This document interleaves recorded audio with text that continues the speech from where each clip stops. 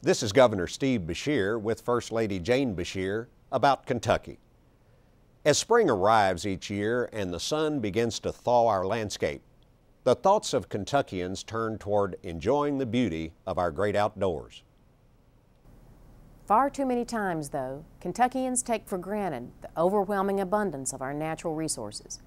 If we want to preserve the rolling hills and lush forest for our children and grandchildren, we must work diligently to ensure that the bluegrass stays green, our rivers pristine, and that we live life as consciously as possible.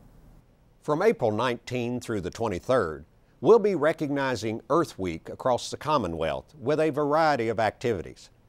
Exciting announcements about the state's efforts to support energy efficiency projects at university campuses, as well as exciting new initiatives to reduce energy consumption in state buildings, will be discussed as we continue to renew our commitment to sustainability. As part of my Green Team, we've made amazing strides toward not only making state government more environmentally friendly, but also raising awareness across the state about preservation. In 2009, we hosted the first ever Green Team Film Festival, which featured educational and informative short films about sustainability from entrants across the state. We also planted the first ever Governor's Garden, which has now created a bounty of fruits and vegetables for several seasons.